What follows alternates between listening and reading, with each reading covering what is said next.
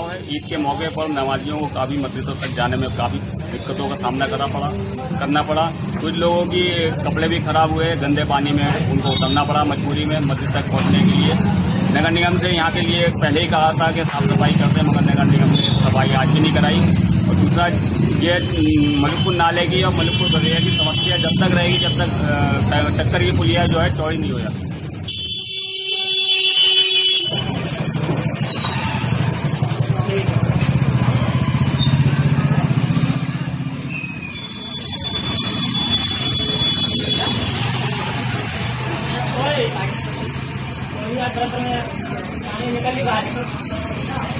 आगे तो गली से छोड़ देगा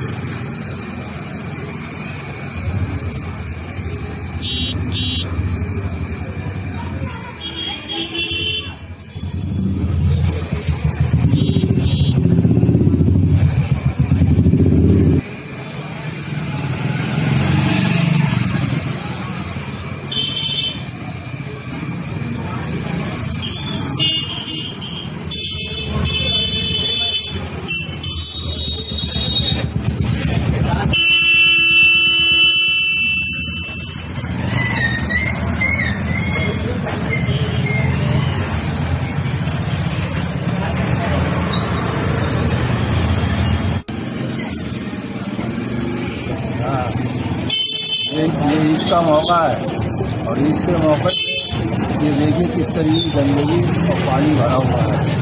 नगर निगम ने इसके ऊपर कोई वो नहीं मोहम्मद रुशैद, यहाँ मलुकपुर बजरिया पुलिस चौकी के पास। इतनी गंदगी है, यहाँ पर नाला भरा हुआ है, नमाजियों को परेशानी हो रही है आने जाने में। इतनी दिक्कत हो रही है।